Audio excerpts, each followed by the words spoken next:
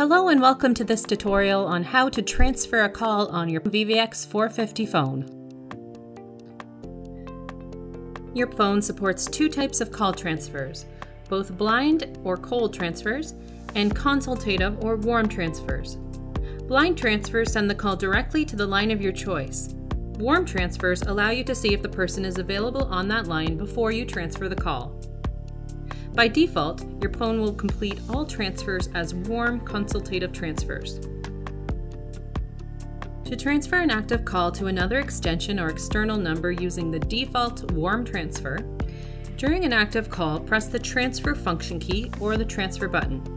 This will automatically place the active call on hold and you will hear a dial tone. Dial the number or extension of the party you wish to transfer the call to. When you are ready to transfer the call, press the transfer function key or the transfer button. To transfer an active call to another extension or external number using the blind or cold transfer, during an active call, press and hold the transfer function key.